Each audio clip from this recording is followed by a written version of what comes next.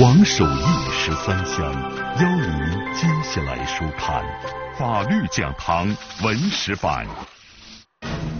唐中宗李显登基之后，太平公主从幕后走上前台，与她同时走上政治舞台的，还有一对更有政治野心的母女——太平的嫂子韦皇后和侄女安乐公主。由于唐中宗李显对他们一味的纵容。这对母女越来越飞扬跋扈，竟然逼迫太子兵变，而之后太平却被告谋反。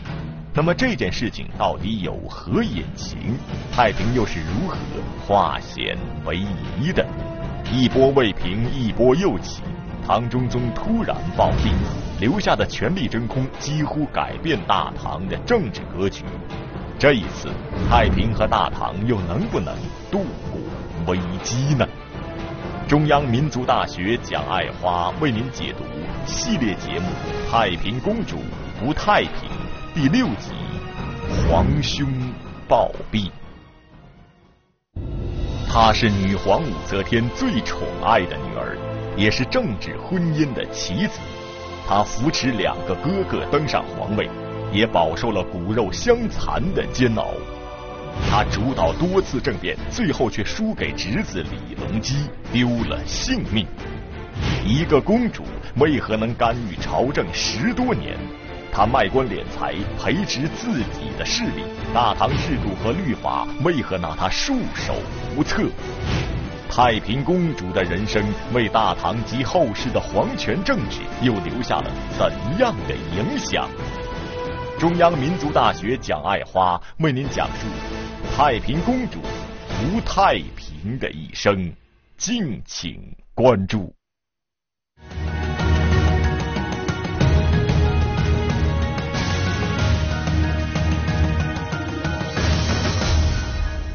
观众朋友，大家好，欢迎收看法律讲堂。李显复位之后，给了妹妹镇国太平公主的称号。对于这个唯一的妹妹呢，他是格外的恩宠与尊重。李显呢？还特意下诏，免于呢太平公主对皇太子李重俊、长宁公主等人行礼。有人说了呀，太平也是公主啊。其实呢，这时候啊，太平的确切称号应该是太平长公主。皇帝的姐妹称为长公主，皇帝的女儿那才是真正的公主。在地位上呢，长公主是次于公主的。尽管是长公主。但在整个中宗时代，韦后与安乐公主乱权，唯惧太平公主多谋善断。也就是说呀，韦后与安乐公主啊，谁都不怕，唯独忌讳太平公主一个人。恐怕他们忌讳的，不仅仅是太平公主的多谋善断，应该呢也忌讳太平公主在朝中的势力。那么性格软弱的唐中宗啊，他在上台之后。又是如何纵容自己的妻子和女儿胡来呢？当时啊，宰相桓彦范曾经向中宗提意见，说呀，臣发现陛下每次临朝，皇后呢总是坐在帷帐后面，参与并且干预对军国大事的处理。臣呐，观察历朝帝王，还没有哪个皇帝与夫人共同执政而不导致国破身亡的。再说了，因凌驾于阳之上。这是违背自然法则的呀！希望陛下吸取古今治乱兴衰的经验教训，敦促皇后安分守己，一心一意的致力于子女的教育，不要再干预国家政事。宰相的这番话说明啊，当时的韦皇后俨然是以垂帘听政的方式来干涉朝政的。前面呢有婆婆武则天的例子，韦皇后的政治野心不能不让大臣们反感与警惕。太平公主的这位嫂子啊，拥有这么大的权力，作为小姑的太平呢，也不好说什么。毕竟啊，天下是李家的，人家韦后呢是当今名正言顺的皇后，母仪天下也在情理之中啊。当然，最令太平不放心的还有一个人，谁呢？就是同样对权力热衷的侄女安乐公主。安乐公主有唐朝第一美人之称，出生时啊。正好是李显被武则天贬于庐陵的途中，因为当时呢情况非常的紧迫，李显呢就匆忙之中解下衣服作为襁褓，将她裹了起来。所以啊，安乐公主取名就叫李果儿。也许啊，是因为流亡的经历，李显与韦氏呢觉得对孩子啊亏欠太多，因此呢，他对女儿都十分宠爱。安乐公主从小就养成了骄傲任性、蛮横霸道的脾气。安乐公主在父亲当皇帝期间啊，那是大肆开府之官，干预朝政，卖官鬻爵。宰相以下的官员呢，大多是出自安乐公主手下。安乐公主对父亲撒娇的方式啊，也比较特别。她呢，曾经自作诏书，蒙住前面的内容，让父亲在上面签字。李显呢，这时候啊，也显示出慈父的一面，不急也不怒啊，笑着答应了他的非分要求。安乐公主对于权力的欲望啊，是丝毫不输于母亲的。在母亲的授意之下，安乐公主啊，曾经向中宗提出了一个请求。这个请求可是史无前例的，是什么呢？是想让父亲呐封自己为皇太女。古往今来有皇太子的称呼，也有皇太孙的称呼，但还从来没有皇太女这个说法。唐中宗想来想去也不敢答应，但是呢，他也没有谴责女儿这种异想天开的想法。唐中宗李显的母亲武则天当年就是与唐高宗一起上朝，最后大唐被周取而代之，前车之鉴历历在目。如今自己的妻子和女儿已经强烈的表达出了对权力的渴望，而李显不但不加以制止，反而却毫不介意，是李显的性格使然，还是背后另有隐情？面对如此出位的皇后和女儿，中宗李显呢？难道一点都不顾及大臣的意见和自己的面子吗？说实在的，他还真没有把这当回事儿。宫中啊，早有武三思跟韦皇后私通的流言蜚语，也流传着中宗怕老婆的歌谣。但是呢，唐中宗对此的态度是不管不顾，直若罔闻。这又是为什么呀？我想这一切啊，都跟中宗。不堪回首的那一段往事有关。李显第一次做太子时啊，韦氏呢因为姿色美艳被立为太子妃。在四圣元年，也就是六八四年，李显呢登基，韦氏被立为皇后。可是啊，两个月之后啊，李显就被武则天罢黜，被贬为庐陵王。韦氏呢一直跟随着丈夫流放到了房州。在经历了漫长的十四年之后，六九八年，也就是胜利元年，武则天呢又将李显召还东都洛阳。第二年，李显被立为太子。可以说呀，韦氏这个女人不简单，她在跟随丈夫流放的岁月中啊，实际上是看不到光明的未来的，但她一直是不离不弃。用现在的话说，就是你若不离不弃，我必生死相依。命运确实没有辜负韦氏的等待与坚韧。在神龙元年，也就是七零五年，凤阁侍郎张建之等五人呢，发动了宫廷政变，逼迫武则天禅让。韦氏的丈夫李显成功复辟，颇具传奇色彩的第二次登上了皇位。这样一来呀，韦氏也重新登上了阔别二十一年之久的皇后宝座。韦氏的命运与李显是共起伏的，正是因为啊这长达十四年的流放经历，使得他们的夫妻感情特别的好。太平公主对自己的这位嫂子啊，应该是有感情的，可能呢从内心里啊也同情嫂子的经历。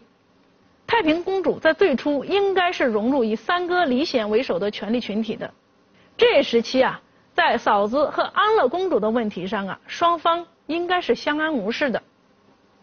但是啊，既然存在着利益的诉求，就不可避免的产生矛盾。宫廷内部的是是非非，又会导致怎样的流血牺牲呢？在接下来的日子中，太平能够保得住自己的太平吗？这还得从太子的危机说起。太平公主与韦氏母女相安无事的局面很快被打破，并非韦后亲生的太子李。重俊备受安乐公主等人的欺凌，意识到自己难以继承大统的太子贸然发动兵变，最终落了个兵败身死的结局。而太平公主却被扯进了这起谋反案。那么太平能否安然度过这场危机呢？幕后操纵这一切的韦氏母女为何要对太平下此狠手呢？中央民族大学蒋爱花继续为您解读系列节目《太平公主不太平》第六集《皇兄暴毙》。李显登基之后的第二年，也就是七零六年的七月，李重俊被立为皇太子，成为中宗皇位的合法继承人。韦后呢，认为太子李重俊呢不是自己亲生的，所以呢，他非常讨厌他。韦氏也是没有办法呀，他自己唯一的儿子李重润已经在六年前被武则天杀死，帮助女儿请求皇太女的努力呢又打了水漂，所以呀，他特别记恨太子李重俊。而这个李重俊呢，虽然是贵为太子，但他是庶出的，母亲呢是地位不高的宫女。我们常说哈，身份决定地位。那么太子本身呢，他也活得很憋屈。武则天的侄子武三思啊，作为掌权一派，不喜欢李重俊，所以说啊，此时的太子几乎是没有可以依靠的势力，在权力场中，太子是孤立无援的。而安乐公主跟她的驸马武重训，更是啊，经常欺负侮辱太子，甚至有时候称太子什么呀为奴才。武重训呢，还唆使安乐公主向唐中宗建议废掉太子。从这些情况来判断的话，太子他根本就没有形成自己的势力集团，而韦后、安乐公主、武三思父子结成的政治实体权力实在是太大了，这呢就严重的威胁了李重俊作为皇太子的地位。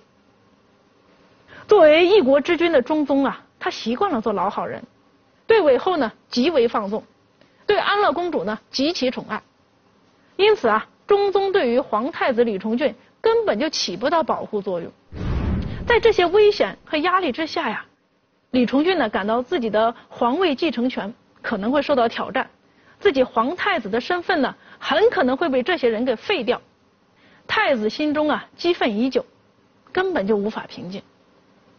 李重俊就想啊，与其坐以待毙，不如主动出击。在这种压抑而且郁闷的气氛之中。太子就做了一件不冷静的事情，而这件事情呢，最终也让他付出了生命的代价。七零七年七月，李重俊呢率领左羽林大将军李多作等人发动了宫廷政变，将韦氏的亲信武三思、武重信这爷俩呢都杀死在了家中。但是啊，兵变是以失败而告终的。李重俊呢逃到了鄂县。在休息时呢，被部下杀害。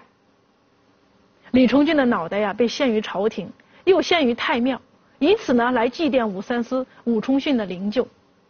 从太子起兵，我们可以看出啊，中宗皇帝对于权力的掌控实在是太差了，几乎做不到对形势啊有所预判。更糟糕的是，太子兵变这事儿啊，居然把太平也扯了进来。安乐公主和兵部尚书宗楚客。竟然诬告太平公主和相王李旦与太子同谋，并且把这事儿呢告到了中宗那里。这谋反罪可是要掉脑袋呀！安乐公主这招可是够狠的呀！她为什么要对太平下手呢？在这场突如其来的危机中，太平能够自保吗？韦氏和安乐为什么要对太平宣战呢？实际上啊，他们是想扫除权力争夺中的障碍。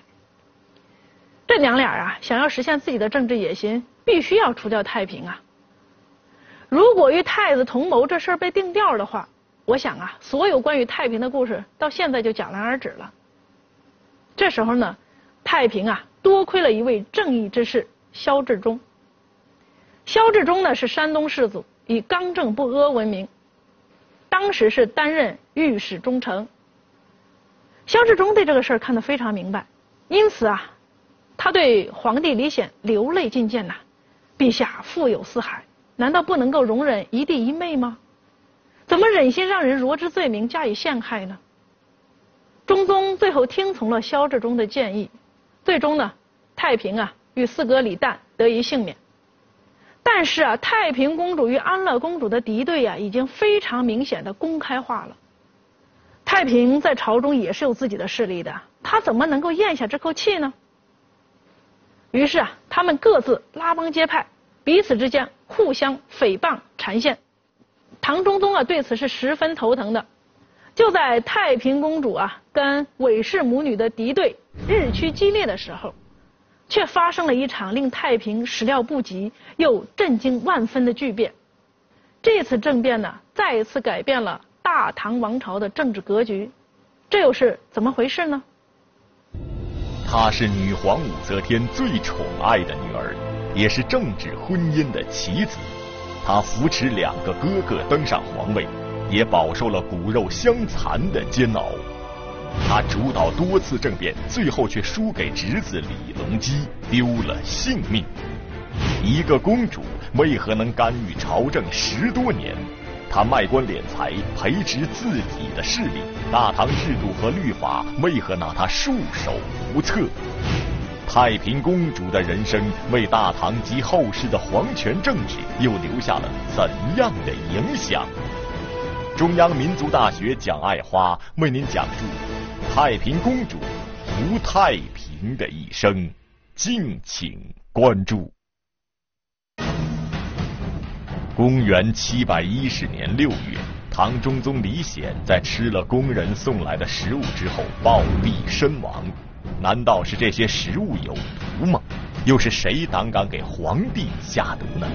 史料记载，唐中宗死于韦皇后和安乐公主之手，一个是自己的妻子，一个是自己的女儿。李显估计做梦也想不到，他们竟然会对自己下手。那么是什么原因造成了这起人间惨剧？李显突然驾崩之后，皇权眼看就要落入韦氏之手，大唐再次陷入危机。作为两朝元老的太平公主，又是如何力挽狂澜的呢？中央民族大学蒋爱花继续为您解读系列节目《太平公主不太平》第六集《皇兄暴毙》。一个月前呢，一位叫做燕青荣的地方官员上书中宗，谴责呢韦皇后干预朝政，奸淫乱性。同时呢，还谴责安乐公主与她再嫁的驸马武延秀等人呢是图谋射击。中宗一听，这影响政权安全呐，所以呢，他就下诏让燕青荣来宫中说事儿。韦皇后啊，通过小道消息知道了这个事情，就派卫士呢早早的将燕青荣处死。中宗知道之后啊，非常的不高兴。其实呢，韦皇后啊是怕事情败露。毕竟呢，她偷情在先，不仅仅跟武三思有绯闻传出，还与散骑常侍马秦克、光禄少卿杨军都有啊偷情的事情传出来。虽然呢，告状的燕青荣被自己派人杀了，死无对证，可是中宗要彻查怎么办呢？六月的一天，中宗呢正在神龙殿翻阅奏章，这时候啊，身边的太监端来了一盘他最爱吃的蒸饼。他呢就顺手取了一块，嗯，口感还真不错。可是啊，一块蒸饼还没吃完，中宗就腹痛难忍，额头上啊滴下豆大的汗珠子，他连忙呼救。剧烈的疼痛让他倒在地上，不停的打滚。身边的太监和宫女被这阵势吓住了呀，就急忙去喊御医。可是呢，御医来了之后啊，中宗皇帝早已躺在地上，没有了气息。对于中宗之死，《旧唐书》的评价还是比较贴切的。敬以元首之尊，不免齐眉之祸。意思是说呀，虽然中宗贵为九五之尊，但是遭到了齐眉之祸。齐眉呢，就是举案齐眉，代指妻子的陷害。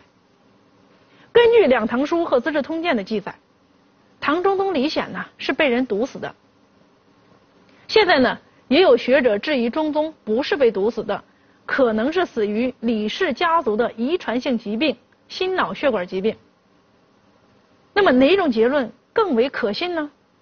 如果从韦后和安乐公主在死后被贬为悖逆庶人，后来又以礼改葬来看呐，似乎韦皇后和安乐公主呢被认为没有毒死中宗李显，而制造中宗呢被毒死的谎言是出于胜利者宣传的必要。那么我个人认为啊，这些呢都是推测。在正史记载言之凿凿的三重证据之下，尽管猜测的东西有一定的合理性，但是还是不要轻易的否定正史的记载。毕竟呢，当时已经形成了官方修史的传统，任何的原始材料啊都要经过专业部门，也就是修史馆的直接呈送。以大家熟知的玄武门兵变来说，尽管呢历史是胜利者编纂的。但胜利者仅仅是将兵变的过程进行了简化，弱化了某些关键人物的表现，而并没有颠倒黑白。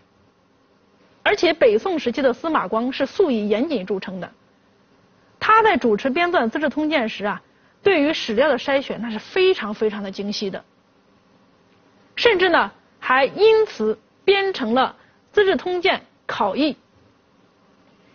所以啊，在可信度方面，从史源学的角度，我还是倾向于传统文献的记载，唐中宗是被毒死的。景云元年，也就是七幺零年，韦皇后和安乐公主合谋毒死了唐中宗。唐王朝的政治局势啊，突然发生改变。而三哥的暴亡啊，对于太平来说是晴天霹雳。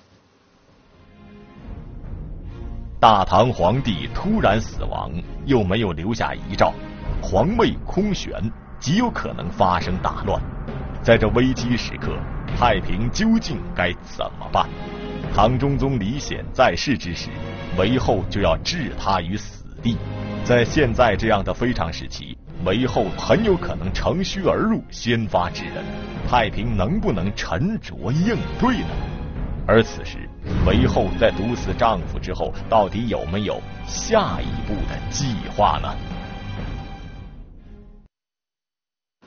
对于中宗死后怎么办，韦后心里他并没有仔细的筹划，特别是想到朝中大臣呢可能出现的议论、猜测和指责，他就更加的不安。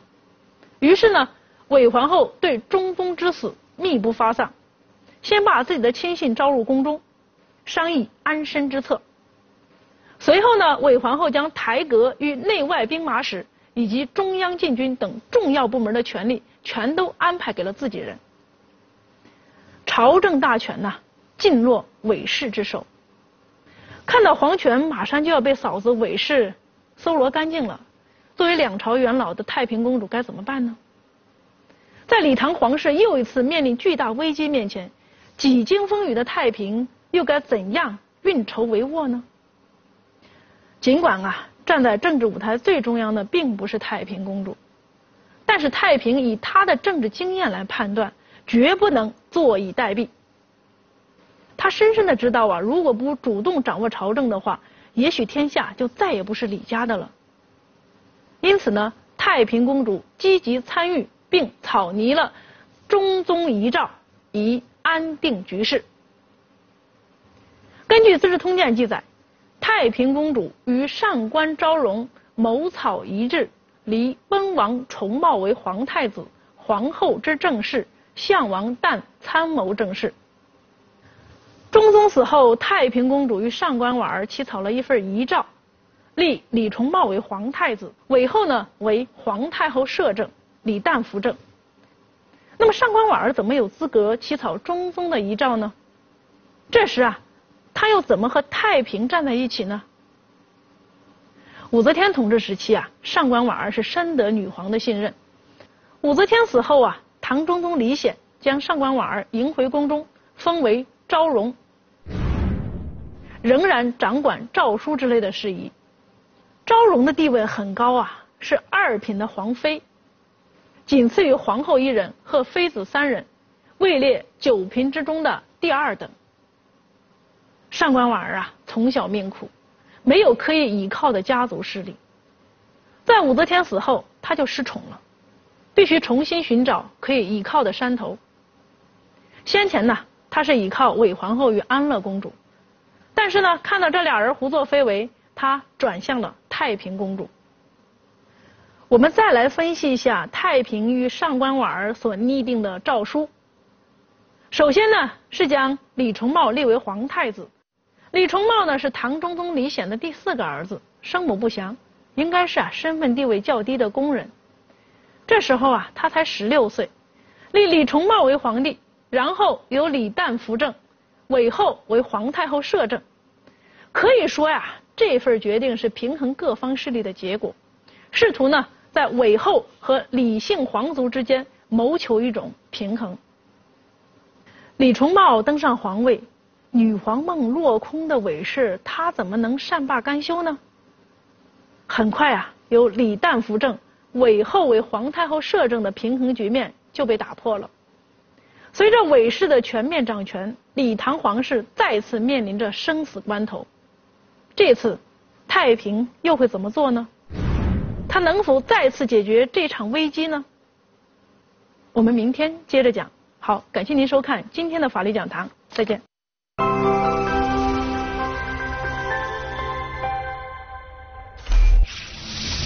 公元七百一十年，唐中宗李显突然死亡，韦后独揽大权。关键时刻，太平公主与侄子李隆基联手发动政变，消灭了韦后势力。太平公主由此成为大唐帝国幕后的主宰，距离最高权力一步之遥。她为何没有像母亲一样登上皇位呢？明天将为您讲述第七集：风头盖过皇。